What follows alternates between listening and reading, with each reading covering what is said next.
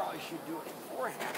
I get the crap in the morning, and I show up here. You know what I mean?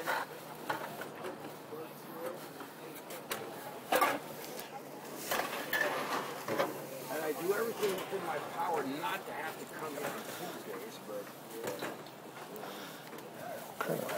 always such. Here we are. Wow, look at that. Oh, don't be last.